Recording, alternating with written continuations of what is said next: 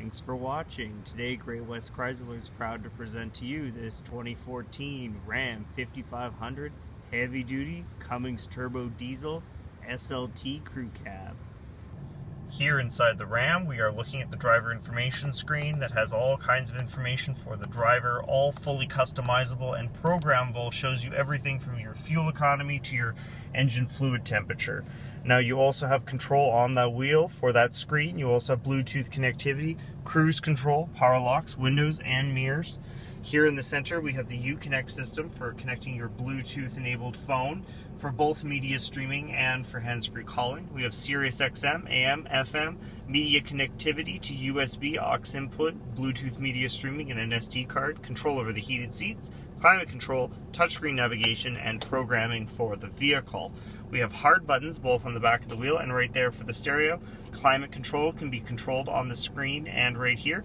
We also have hard buttons for auxiliary switches and trailer brakes with the four-wheel drive knob.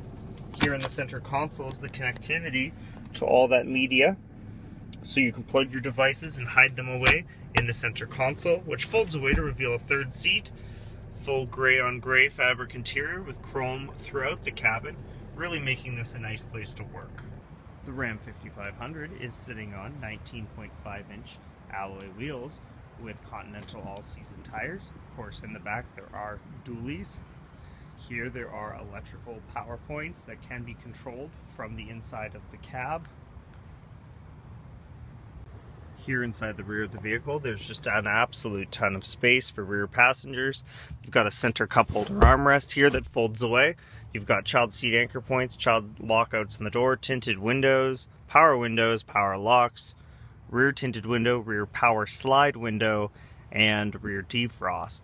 The seats are 60-40 split and do fold up for storage, and we have a cargo floor that tumbles out to create a flat cargo storage space.